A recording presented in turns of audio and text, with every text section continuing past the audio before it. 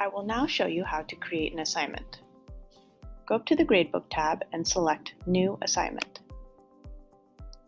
From here, you can give the assignment a name, select the date of the assignment and the due date,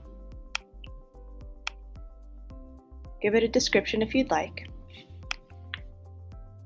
select an assignment type, and then select the score type. If you select raw score, that means you would like to enter in the number of points out of the max score the student received. So for example, if this test is worth 50 points, when I enter in scores, I will enter in the amount of points out of 50 the student received. This points column is a way to add weighting within the assignment type. It is recommended that you keep the points at 1 unless you would like to do more advanced weighting within assignment types.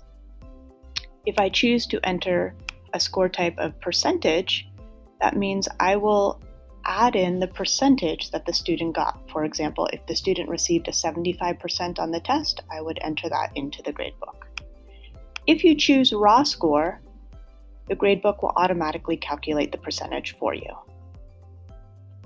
Down on the bottom is where you can assign this assignment to multiple sections. You can do that by clicking on the Sections tab and then selecting the sections you would like to apply it to.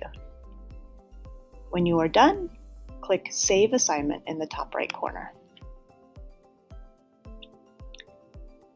I am now on the Gradebook main screen, and here I can see the assignment.